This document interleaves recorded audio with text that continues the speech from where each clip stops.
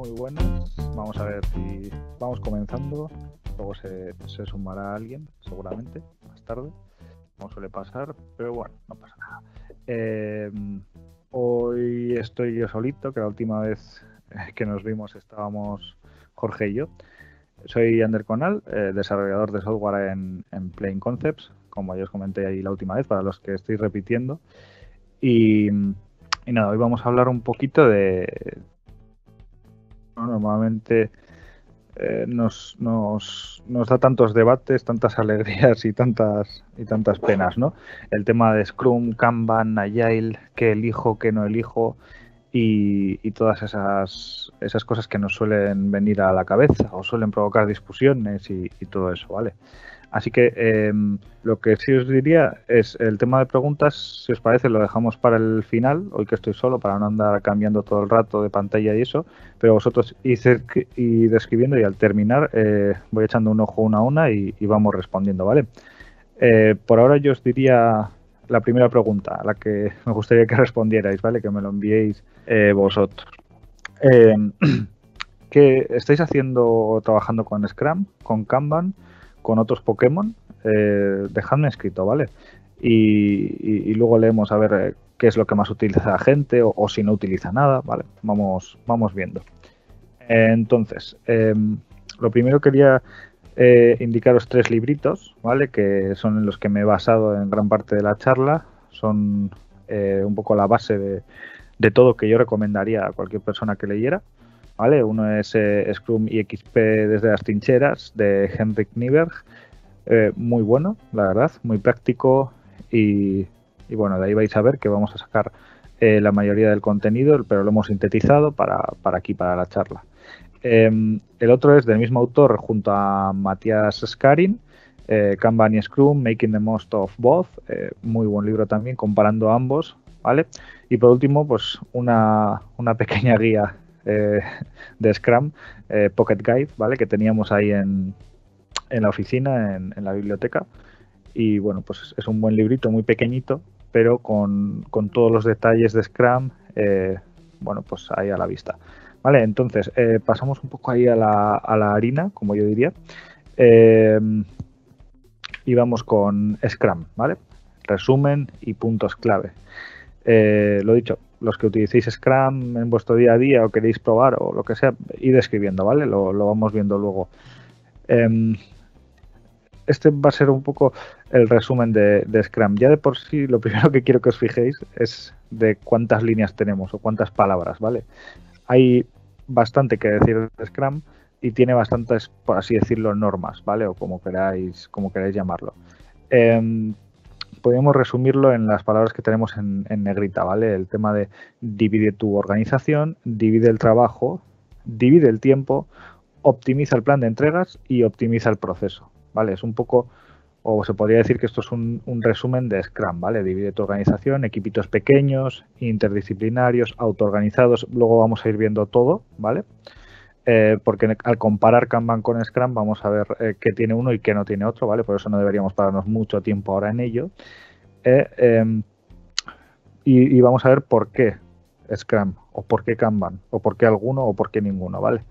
Lo que sí que es importante en, Scrum, ¿vale? Es el, el qué prescribe Scrum, ¿vale? Porque en eso se distingue bastante respecto a Kanban. En que prescribe cuatro cosas muy importantes y que hacen que, en cierto modo, eh, estés haciendo Scrum, ¿vale? Prescribe roles, que luego veremos cuáles son, ¿vale? Iteraciones de tiempo fijo, equipos multifuncionales y la estimación y la velocidad. Esos cuatro conceptos de, de, Scrum. Eh, lo que va a ocurrir hoy también os digo es que en cuanto veáis un poco comparativas con Kanban vais a daros cuenta de que pensabais que, hacíais Scrum pero en realidad estáis haciendo Kanban o una mezcla de ambos, lo cual no está mal, ojo, pero eh, puede pasaros eso, ¿vale?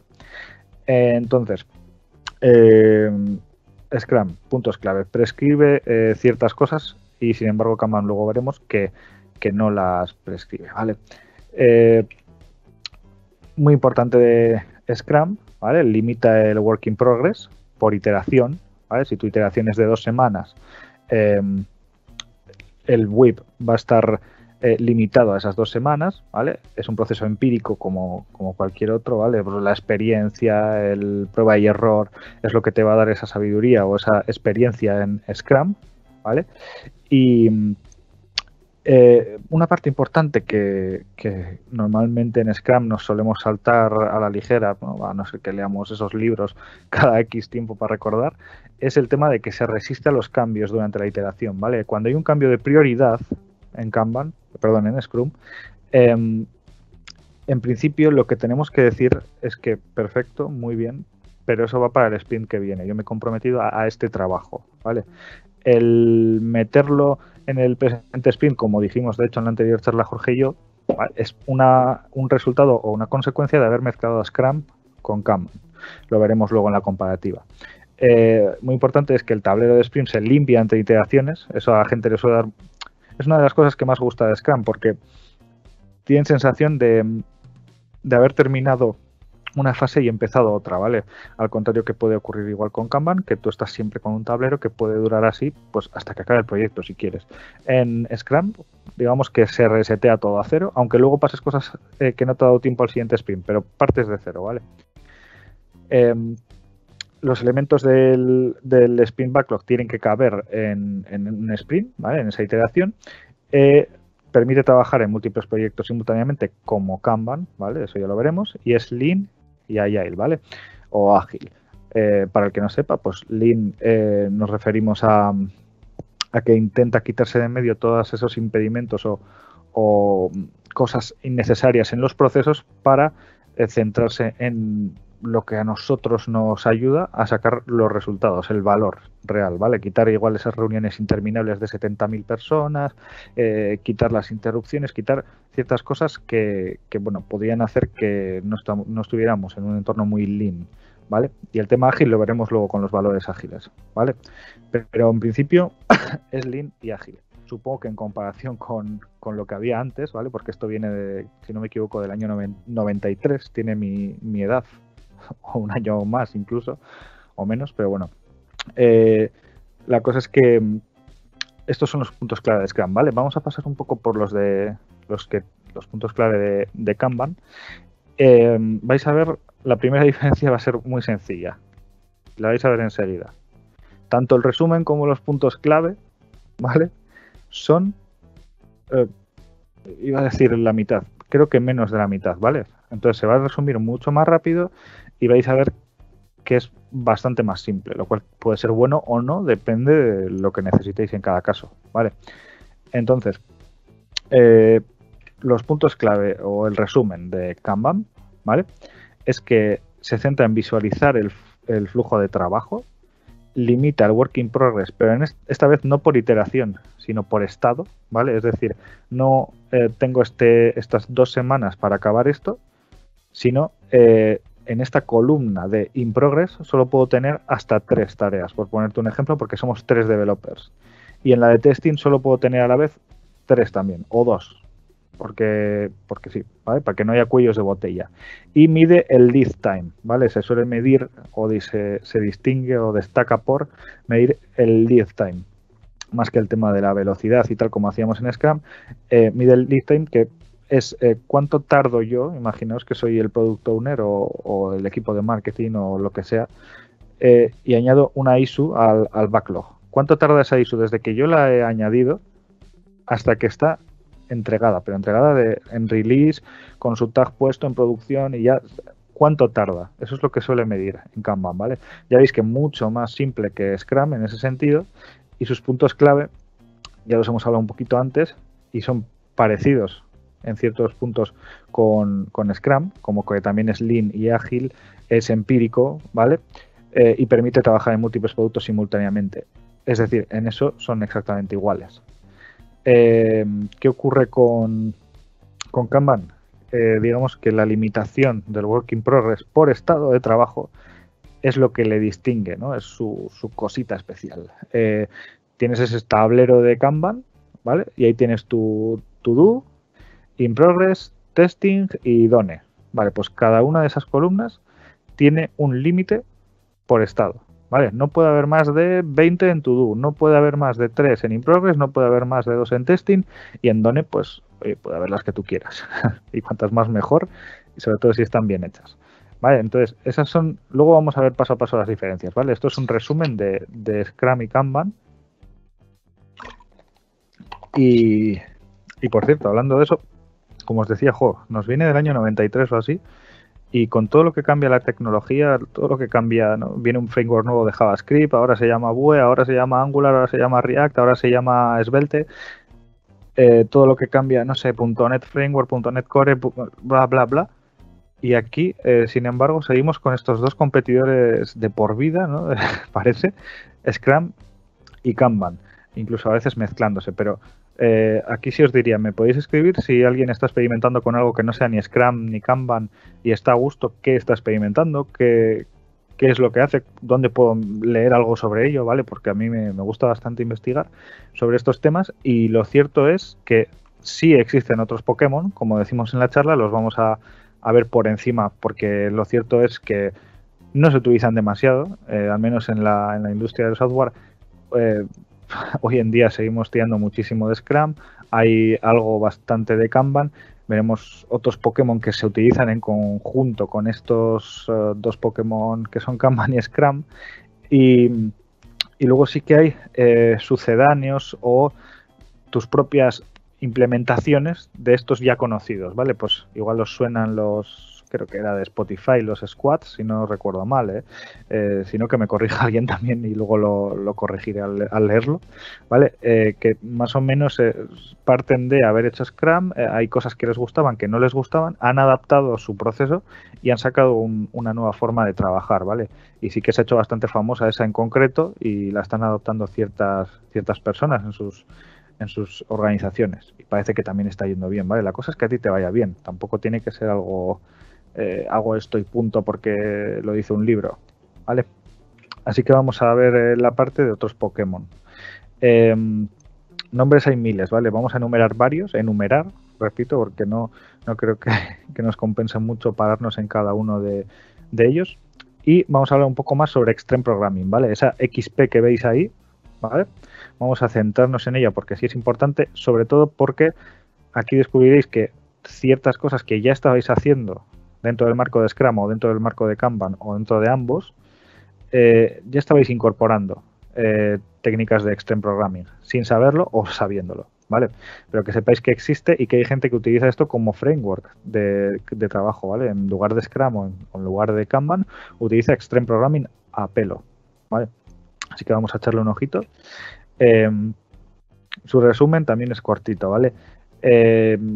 Es un framework que nos empuja a producir software de alta calidad y a obtener mayor calidad de vida para el equipo de desarrollo. Importante esa segunda frase, ¿vale? Se centra mucho en eso, en la calidad de vida del equipo de desarrollo. Y además es el más específico en cuanto a buenas prácticas de ingeniería. Si os fijáis en Scrum hemos hablado de iteraciones, de velocidad, eh, de, de liturgias, hemos hablado de medir el work in progress, hemos hablado de todo, pero no hemos hablado de buenas prácticas de ingeniería. Por eso digo que es el más específico en cuanto a buenas prácticas de ingeniería. De hecho, creo que es de los pocos que las nombra específicamente en su, en su día a día, ¿vale? Em, vamos a ver. ¿vale? Estos puntos clave, eh, digamos que se resumen en estas partes que luego iremos sacando una a una. ¿Vale? Pero tenemos la planning, el managing, el coding, el designing y el testing. Yo en las siguientes PPTs he puesto ejemplos, ¿vale? Hay muchas más, la verdad que este programming eh, tiene bastante literatura también. Os recomiendo investigarlo un poco, pero os lo voy a resumir un poco y enseguida vais a ver eh, en qué se resumen estos cinco puntos, ¿vale?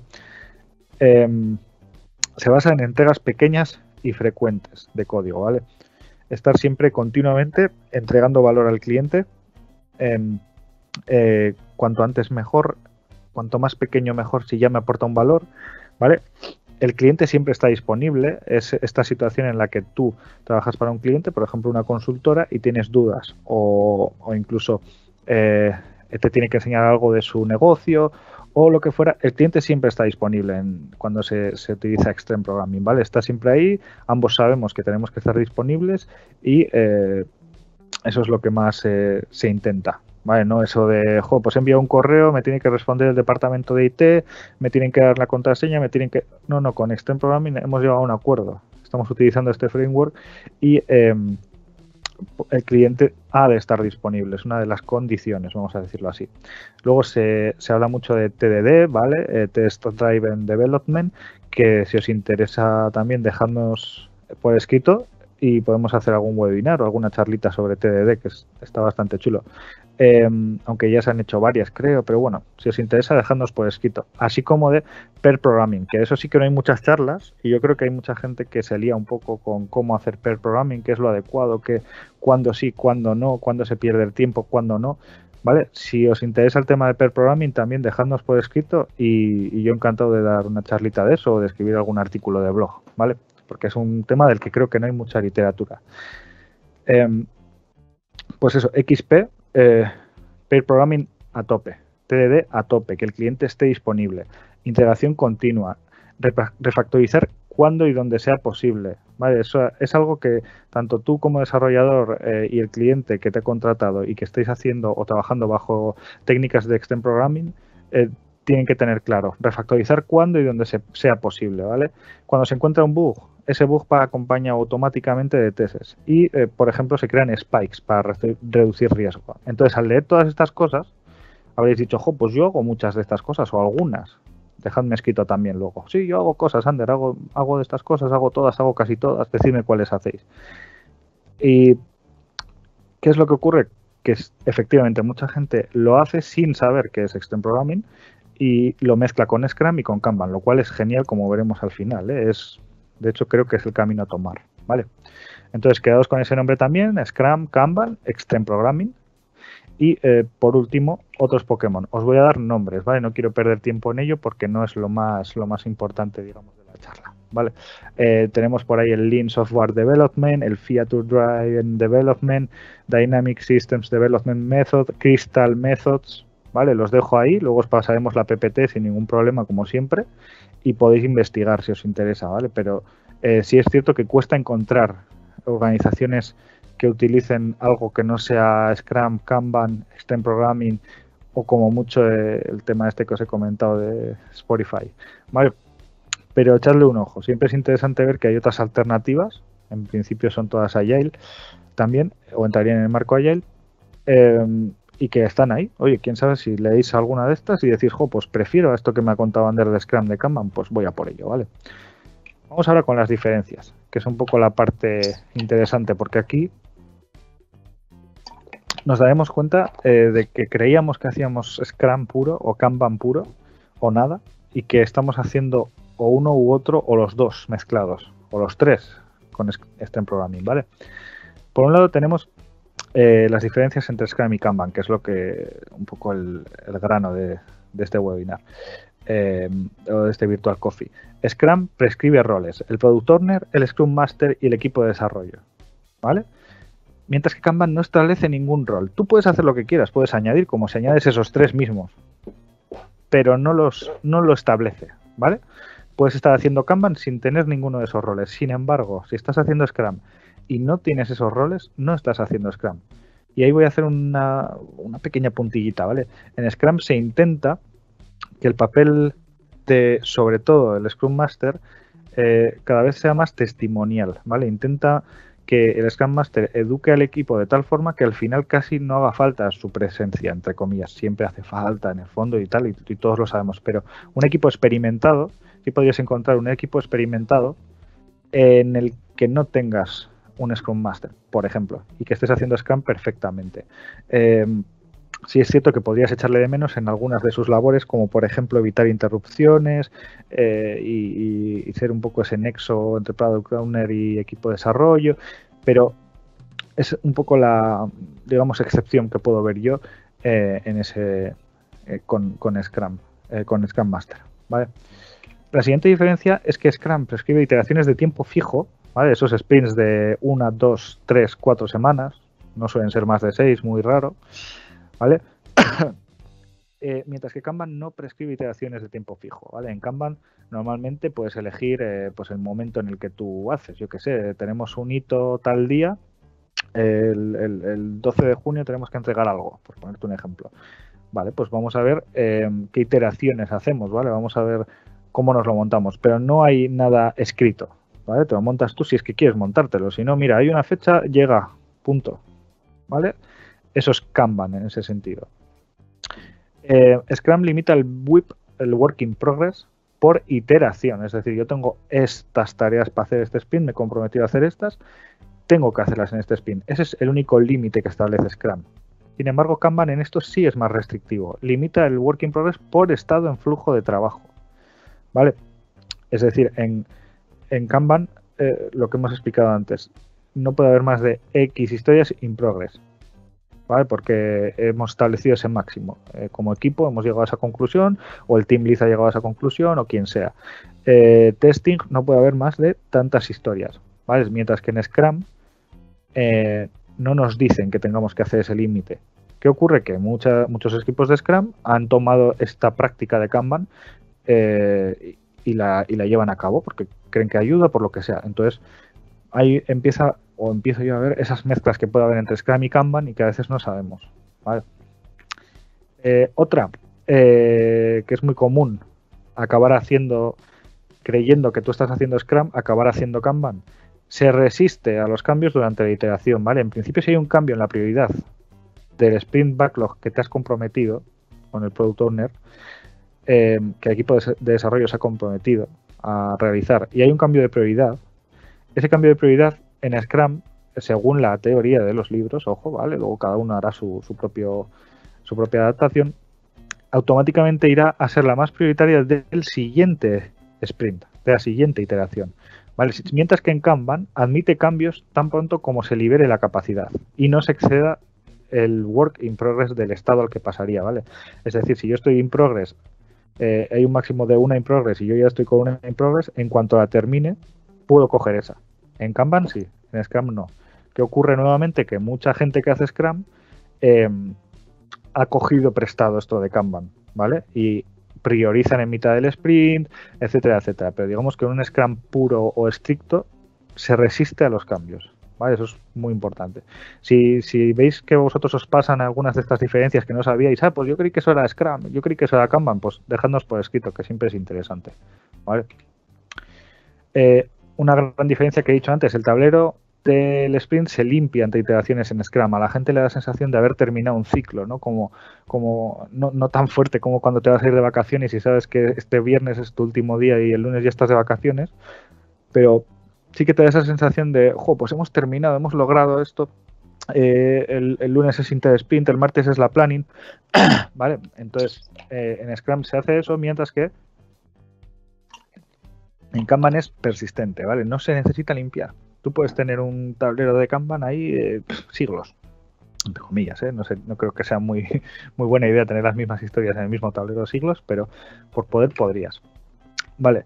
Em, Scrum prescribe equipos multifuncionales, mientras que Kanban eh, dice que son opcionales. Esto ocurre mucho en Scrum. De hecho, lo que ocurre mucho es que a veces creemos que tenemos equipos multifuncionales, pero realmente no son tan, multifuncionales, ¿vale? Porque sí que suele haber un poco de back, un poco de front, un poco de DevOps, pero por ejemplo no suele haber diseño. Y el diseño suele haber un, suele ser un gran cuello de botella. ¿Vale? No el diseño en sí, sino la comunicación entre ambos equipos.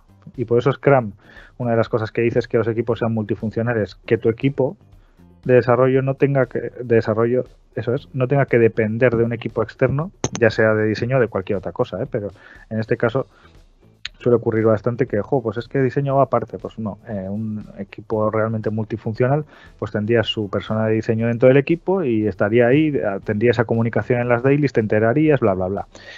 En Kanban son opcionales, ¿vale? Em, en Scrum los elementos de la pila de producto deben caber en un sprint, mientras que en Kanban no hay normas explícitas, ¿vale? Es decir, en, el, en Kanban, en el mismo tablero, puede haber un elemento que necesita un mes para terminarse y otro que necesita un día. Y no hay ningún problema por ello. Se me ocurre, lo pongo. A este tardaré un mes, este tardaré un día. Están los dos juntos. Este tardaré siete meses, este tardaré un día. Están los dos juntos. En Scrum tiene que caber un sprint. Em, luego, en Scrum hablamos mucho de la estimación y la velocidad, mientras que en Kanban no se prescribe eh, dicha estimación, pero sí es verdad que es común que se utilice esa u otra técnica para medir un poco cuánto tardo yo ese, ese lead time que decíamos antes, eh, desde que se abre algo hasta que se cierra. Es bastante común, pero no es algo que, digamos, sea obligado como en Scrum. Em, además, esto también suele causar bastante controversia, sobre, tipo sobre todo en equipos que no son muy estables, equipos multiproyecto, eh, que se van cambiando las personas, porque, claro, la estimación eh, sí nos puede valer, pero la velocidad ya, si el equipo es muy cambiante, pues bueno, podríamos tener nuestras dudas de que la velocidad sea realmente un parámetro válido de medir. Pero eh, la cosa es que Scrum lo, prescribe, ¿vale? Em, luego, em, más cositas. Em, lo que hemos hablado de priorizar, ¿vale? en Scrum hay que priorizar, se ordena el Product Backlog, el Sprint Backlog, y los cambios en las prioridades tienen efecto en el siguiente sprint. En Kanban, no, ¿vale? Eh, en cuanto capacidad haya capacidad disponible, cambiamos. Como ya hemos hablado de ello, pasamos a la siguiente, ¿vale? En Scrum nos obligan a tener reuniones diarias y encima eh, las reuniones diarias están orientadas a que cada miembro del equipo haga su reporte. O sea, es un reporte uno a uno de lo que hacen. En Kanban, sin embargo, no nos obligan a ello y además los que hacen ese tipo de reuniones en Kanban lo suelen enfocar más al panel, poniendo foco en cuellos de botella, problemas, no cuentan un reporte, bla, bla, bla, ojo, pues yo he hecho esto, yo he hecho esto.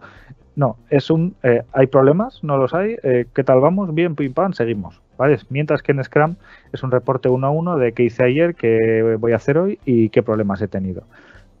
vale, entonces, por cierto, contadme qué tal las dailies. ¿Os gustan las dailies? Eh, ¿Os aportan? ¿Cómo las hacéis? Contadme un poco, luego leemos sobre este tema, ¿vale? Que suele ser bastante también interesante. Y podemos hacer una charla sobre las dailies. Si a alguien le gusta, que me ponga y hacemos una charla sobre las dailies o un artículo de blog, ¿vale? ¿Vale? En Scrum se utiliza el bar down para seguir el progreso de una iteración, mientras que en Kanban no hay gráficos específicamente. Pero eh, tú podrías utilizar cualquier tipo de gráfico. Como veis, Kanban es mucho más abierto. Vale, por eso decimos, eh, o por eso Kanban suele tener más esa fama de, jo, pues es más, más abierto, más fácil, más tal. Entonces, enseguida tiramos de la palabra fácil, ¿no? Jo, pues, es que si estamos así, para eso yo hago Kanban. Eh, bueno, cuidado porque Kanban, eh, sí, tiene pocas normas, digamos, pero hay que seguirlas y, las que tiene son bastante importantes, ¿eh? como la del, la del Working Progress por estado y a mucha gente le cuesta seguirlas. Em, vale, pues hasta aquí habríamos llegado con las diferencias entre Scrum y Kanban. Y, las diferencias con los otros Pokémon, sobre todo con Extreme Programming, ya habéis visto que básicamente es que Extreme Programming se basa más en, el equipo de desarrollo, en técnicas de ingeniería, en buenas prácticas, mientras que esto es más organizativo, por así decirlo, es un algo más eh, ambiguo. Eh, esas son las diferencias principales entre las dos principales que nos ocupan, Scrum y Kanban. ahora veremos que, bueno, eh, ¿por qué no mezclarlas todas? ¿Por qué no hacer nuestra propia implementación? Eh, y, esas cosillas, ¿vale? Entonces, para entender cómo elegir, que es en la parte final, qué, utilizo, si Scrum, si Kanban, si, si Stream Programming, si otro, eh, primero tenemos que entender que los dos, o los tres, o todos, los que hemos mencionado, son agile, son ágiles, ¿vale? Y por qué o qué es lo que hizo que la persona que creó estos frameworks para trabajar em, se motivase y crease para mejorar algo, seguro, ¿vale? Pues ahí entran los valores ágiles. Vamos a resumir mucho, esto os recomiendo, ahora os recomiendo un juego, eso es, ahora os recomiendo. ¿Vale? Pero los valores ágiles son cuatro sobre todo, ¿vale? Individuos e interacciones sobre procesos y herramientas. Software funcionando sobre documentación extensiva. Colaboración con el cliente sobre negociación contractual y respuesta ante el cambio sobre seguir un plan. ¿Vale? Basándose en estos valores ágiles y en 12 principios que hay en el manifiesto ágil, ¿vale? que se publicó en el, no sé si era en el 2000 y poco o algo así, 2001 me suena, eh, basándose en esto fueron surgiendo esas metodologías que estamos viendo de Scrum, que Kanban, que si no sé qué, que si en Programming, que si tal. Pero los problemas que solucionábamos, ¿vale? Era pues por lo que vemos aquí en los valores ágiles, procesos y herramientas, documentación extensiva, negociación interminable contractual, eh, había un plan definido y no podía salirte de él, aunque hubiese un cambio. Bueno, pues ante esto han ido surgiendo ese tipo de cosas. Entonces, teniendo claro de dónde partimos, que es para solucionar estos problemas, y luego el manifiesto ágil los detalla un poquito más, ¿vale? Aquí os lo he dejado en la, en la PPT, ¿vale? No, no voy a leerlos ahora todos, pero sí os propongo un juego que nuestro compañero de Plain Concepts, Eder Lorriaga, nos hizo hace, hace unos pocos meses, que os, para que hagáis vosotros en, la, en vuestra empresa, ¿vale? Que es eh, coger, dibujad un reloj, ¿vale? Con sus 12 tics y eh, leyendo los 12 principios del manifiesto ágil por grupitos de 3, 4, lo que como veáis, o de dos en dos. Y eh, dibujando en cada pestañito del reloj cada una de las 12, un dibujo que represente lo que habéis entendido de esa frase. ¿Vale? Em, es una chorradilla, pero es para que lo leáis. Normalmente nadie los lee. Nadie estás haciendo Scrum y no sabes por qué lo estás haciendo. Estás haciendo Kanban, no sabes por qué lo estás haciendo. eres Agile y no sabes qué es ser Agile. Entonces, para de vez en cuando que el equipo lea el manifiesto ágil, eh, yo recomendaría cada X tiempo em, hacer este jueguecito. Eh, ponedme también vosotros si sabíais que existía esto del manifiesto ágil, lo de los 12 principios, si os lo habíais leído alguna vez o no, si lo habíais leído pero se os había olvidado. Y sobre todo, intentad hacer ese juego, ¿vale? Eh, a mí me, la verdad que me gustó porque hizo que realmente todos los que fuimos a la charla leyéramos los 12 principios ágiles y no solo lo leyéramos, discutiéramos sobre la representación en, dibujo de, de, cada uno de los puntos. Por tanto, estás no solo ya leyéndolo, sino hablándolo con otro compañero. ¿Vale? Así que ahora vamos con la última parte. ¿Cómo elijo la metodología más acorde a, nuestro proyecto? De todo esto que hemos hablado, ¿no? Pues más sencillo para mí de lo que, de lo que imagináis. Es un proceso empírico. Por tanto, prueba, falla, modifica, prueba, falla, itera, falla, ajusta, prueba, falla, falla, falla, prueba. Todo el rato así. Eh, entonces, coges esta charla, coges más documentación, coges los libros que te he dado, analizas cada opción y eliges lo que más se considera, lo que mejor se adapte a, tu día a día, a tu tipo de equipo, a tu tipo de empresa, a tu tipo de proyecto. Pues, coño, igual Scrum con tantas restricciones y nosotros que en nuestra vida nos hemos podido organizar así, pues igual no es la mejor idea que empieces por Scrum. Igual tienes que empezar por Kanban e ir metiendo alguna, alguna cosita de Scrum poco a poco si es que te ha convencido Scrum. ¿Vale? También es muy importante que tengáis en cuenta el estado del proyecto. No es lo mismo estar en un estado inicial donde hay una gran, un gran product backlog, donde hay muchas features eh, a desarrollar muy largas que se, digamos que son más aptas para Scrum, para estimar, eh, medir la velocidad, cuánto tardo en tal y cual. No es lo mismo eso a que acabes de salir a producción. Siempre hay bugs siempre hay bugs. De hecho, suele haber sprints llenos de bugs. ¿no? ¿Qué, ha, pasado este mes? Nada, que hemos ido a producción y pues están llegando bugs. Entonces, ese sprint posiblemente, aunque vinieras trabajando con Scrum, posiblemente ese sprint te venga bastante mejor pasar a, Kanban.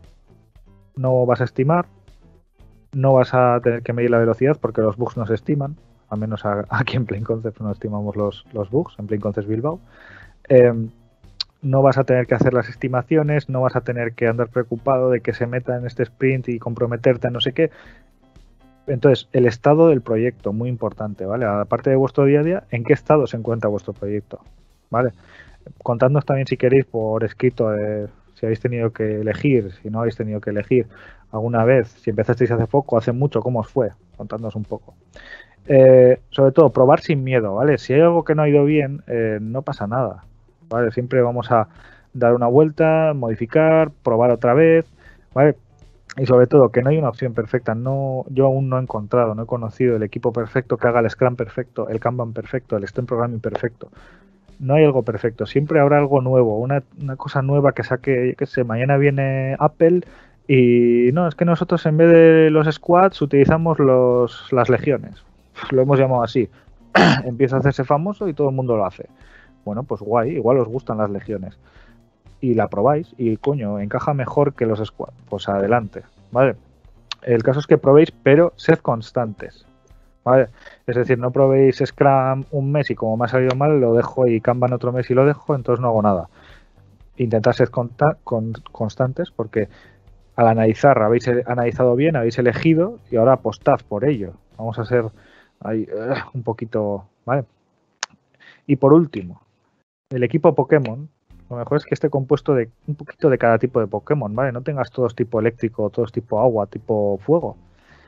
Em, así que lo que yo recomiendo es que elijáis un poco de todo, ¿vale? Nosotros personalmente en Picoces Bilbao tenemos una mezcla, ¿vale? Que nos puede gustar más o menos y ser más o menos efectiva, pero hay una mezcla.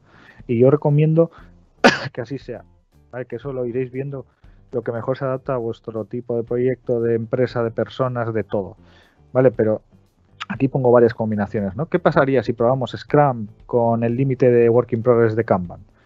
¿Y, por qué no hacemos Kanban puro pero haciendo Extend Programming? ¿Y por qué no probamos Kanban pero estimamos las tareas, como en Scrum?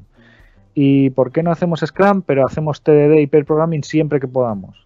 ¿Y por qué no hacemos Scrum, pero dejando que entren cambios en la prioridad en mitad del sprint como en Kanban? Y además nos obligamos a hacer Continuous Integration y Continuous Deployment. ¿Qué pasaría? Posiblemente cosas buenas, posiblemente. No pasaría nada, ¿vale? Entonces, probad, intentadlo, ¿vale? Eh, eso es el consejo que puedo dar respecto a cómo elegir.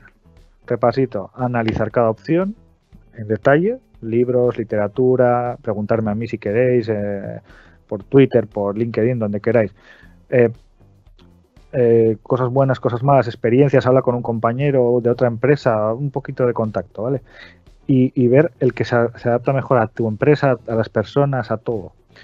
Luego, el estado del proyecto, importante, si está muy avanzado y está en producción y ya no hay mucha nueva feature que hacer y son todo, sobre todo, bugs y pequeñas mejoras, cuidado que igual no estás en un punto en el que Scrum sea lo más efectivo. Em, prueba sin miedo y no hay opción perfecta. Y sobre todo, intenta, bueno, probar varias cosas. Mezcla, ¿vale? Entonces, hasta aquí habríamos llegado. Muchas gracias por acudir. Ahora vamos a leer las preguntillas, si es que hay alguna. Y, nada, ahí estamos en, Twitter, Underconal, Plain Concepts. Y, y espero que os haya gustado. Voy a ver agua y leo las preguntas. Vamos a ver. Esto por aquí. Vale. Esto por acá. Vale. Em, a ver. Vale, por aquí voy leyendo de arriba abajo. Em, hay gente que nos dice que hace Scrum y Kanban, combinación, mira, como hemos dicho.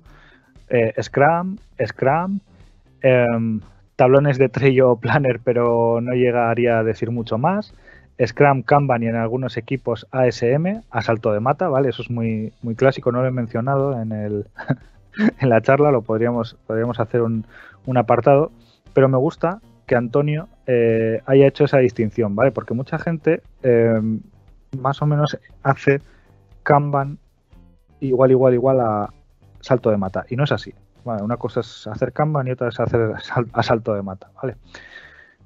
Eh, nos dicen también que no utilizan ninguna metodología actualmente, pero me interesa mucho poder llevar a, práctica Kanban. Bueno, pues estás de suerte porque eh, ya has visto que es de lo más sencillo en ese sentido, aunque hay que ser muy estrictos con lo, limitar el work in progress y, tener el tablero y tal y cual, pero bueno.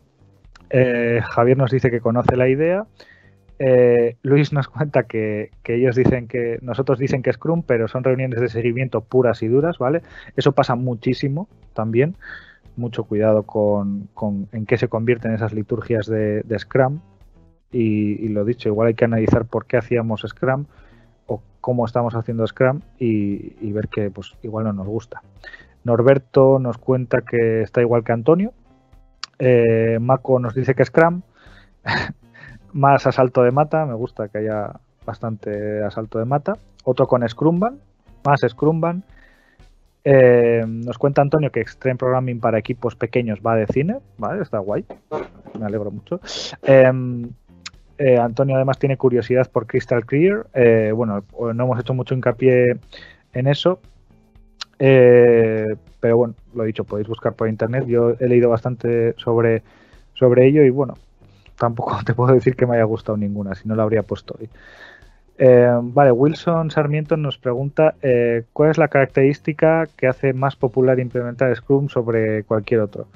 Pues la verdad, yo creo que simplemente es que es más famoso. Eh, no sé cómo decir, es como lo utilizan más empresas, sobre todo de las grandes. tiene más comunidad parece más estricto que Kanban, sobre todo, ¿no? Parece más estricto que Kanban. Entonces, eh, dices, bueno, pues digamos que parece que me va a dar más control, me va a dar más datos. Kanban se me puede ir de madre. Vale, yo creo que por ahí van los tiros. ¿eh? Kanban se me puede ir de madre, tiene pocas restricciones. Sin embargo, Scrum tenemos ciertas liturgias, tenemos la retrospectiva, no se nos puede ir de un mes, no sé. Yo creo que es eso. Vale, Antonio nos dice que buenas prácticas en pair programming estaría genial y tiene dos me gusta. Otro Javier, interesante hablar sobre pair programming. Genial, me lo apunto porque a mí también me gustaría hablar, la verdad, eh, sobre eso, así que ya, le, ya iremos a, a Plain Concepts que nos deje. ¿vale? Eh, Javier, eh, muy interesante, perdón, eso ya había leído. Miguel dice que su equipo está interesado en TDD, lo, mismo, lo hablaremos y si no, como mínimo recomendaré un libro que me gusta mucho sobre ello. Eh, Vero dice que sería muy interesante una charla de pair programming, de los spikes, cómo los implementas, cómo los haces. Eh, me lo apunto y, y, lo hacemos, ¿vale? De hecho, ya te digo que el pair programming y spikes, al menos en mi equipo, es el pan nuestro de cada día, ¿vale? Hacemos bastantes, todos los sprints y hacemos pre-programming. Hoy mismo vengo de realmente haberme pasado, no exagero, toda la mañana con, un compañero, literalmente. La verdad que solo yo, eh, es raro el día que estoy entero. Eh, siempre intentamos hacer bastante pre-programming en mi proyecto. Eh, Anonymous nos pregunta cuáles son las mayores ventajas de TDD. Bueno, pues no hemos, eh, no hemos hecho mucho hincapié en ello, pero bueno, podríamos decir que la mayor ventaja en principio es que te ayuda a anticipar problemas, eh, tanto de diseño como potenciales bugs, eh, elecciones de paradigma de código, dejando aparte que ya tienes el, el test hecho. No tenemos la típica situación de ya lo he hecho, creo que funciona, no tengo testes, ya los meteré, nunca los metió. Entonces, para mí, esas son las mayores ventajas de hacer TDD. Luego hay que ver lo de siempre, casos reales, la vida real. A ver, ¿vale?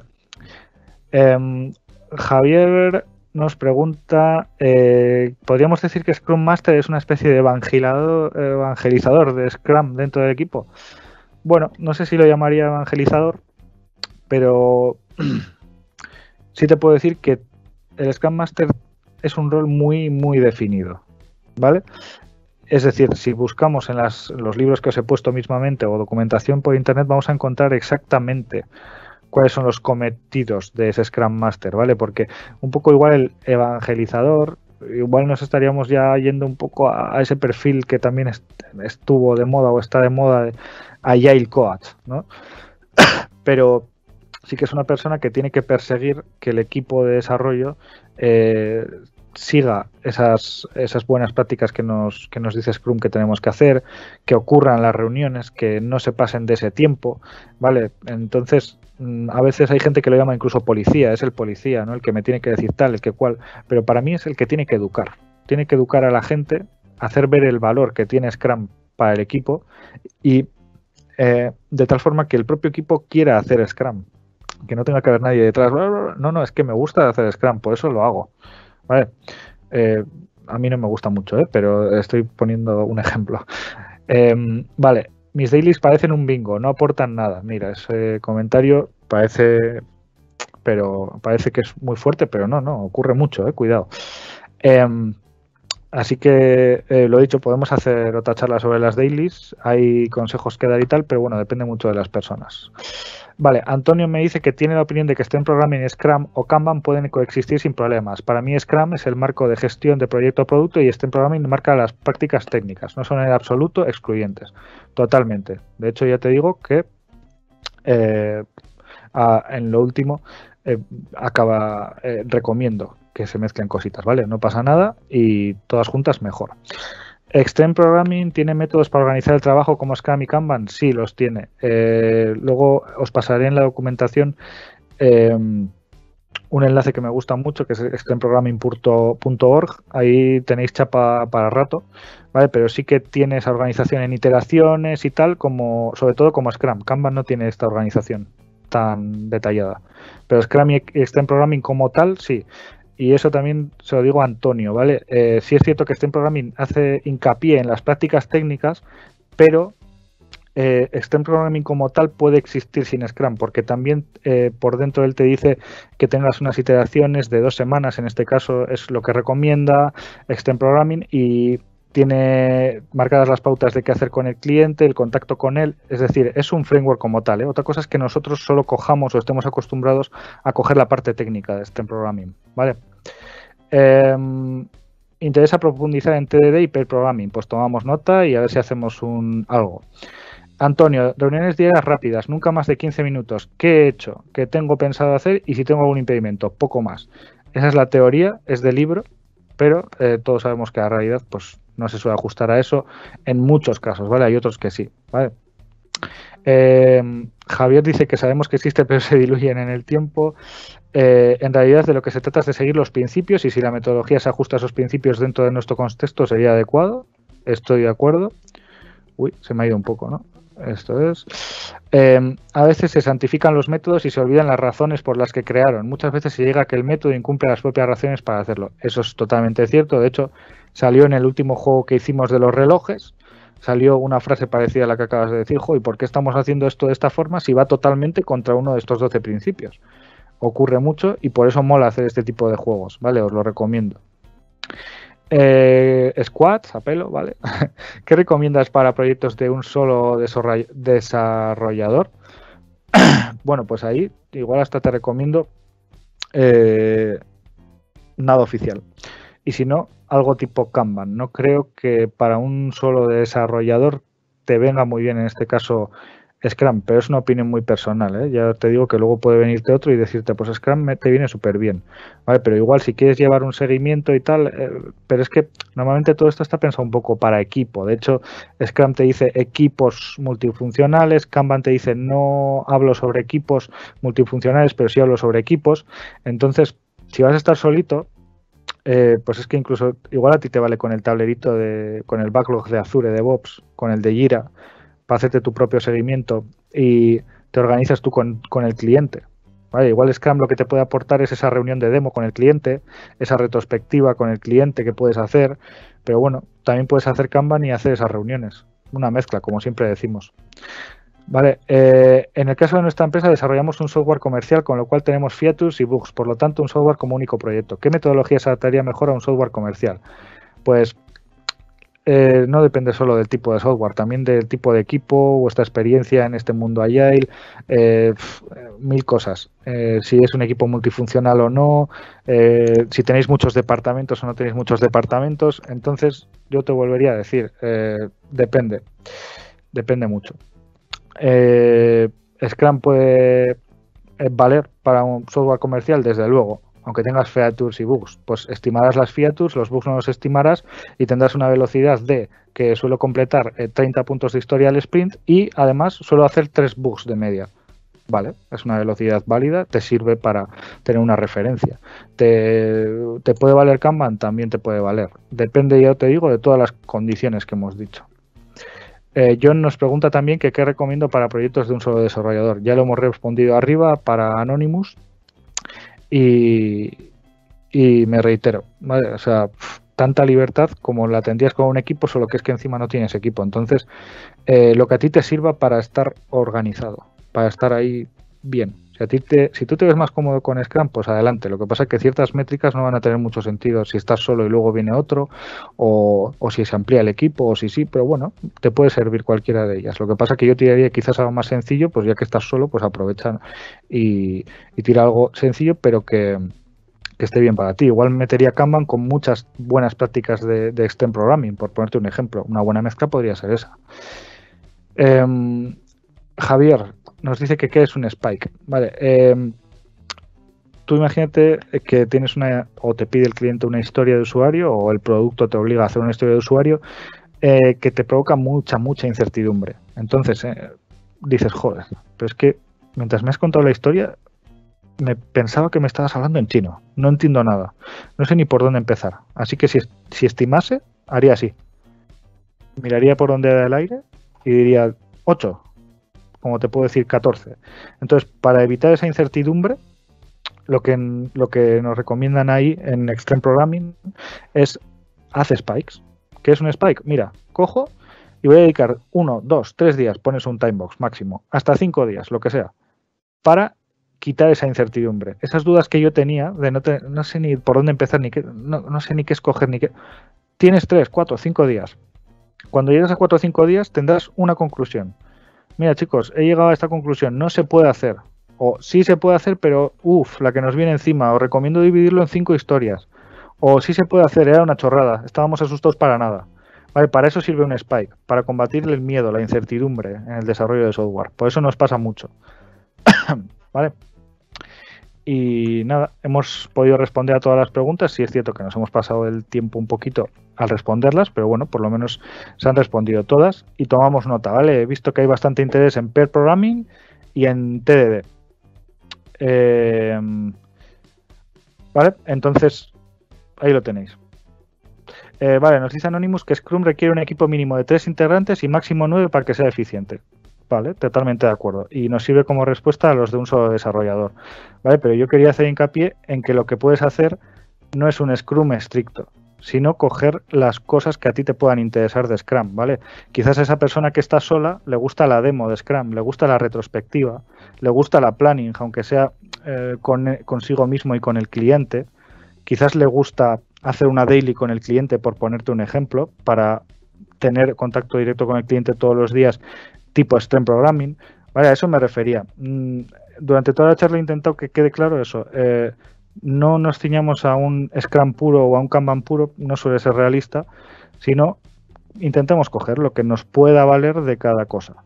¿Vale? Es un poco la, lo que yo saco de todo este tema Agile, mientras cumpla con esos 12 principios ágiles o esos valores que hemos hablado, ¿vale? Vale, pues si no hay ninguna pregunta más por ahí, que yo creo que no hay, eh, aquí lo dejamos, en principio. Vale, muchas gracias por acudir a todos y, listo, pues nos, vamos viendo por aquí, por Plain Virtual Coffee, Webinars o, lo que queráis. Eh, os, enviaremos, os enviaremos la presentación, la grabación y todos los recursos ¿vale? Y tomamos nota del tema Pair Programming y TDD y, y lo hablamos, ¿vale? Así que nada, muchas gracias y hasta otra. Nos vemos.